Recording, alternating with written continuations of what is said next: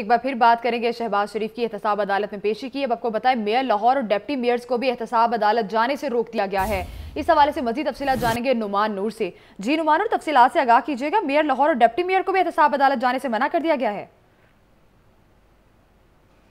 जी बिल्कुल, जो है, आज शरीफ की एहतसाब अदालत में पेशी है और वहाँ से उनको रवाना तो कर दिया गया, लेकिन इसके साथ साथ यहाँ पे जो एहतसाब अदालत की सूरत हाल है यहाँ पर जितने भी असाब अदालत की अतराफ़ में आने वाली सड़कें हैं, उन तमाम को बंद किया गया है और पुलिस के दस्ते जो है वो तैनात हैं और किसी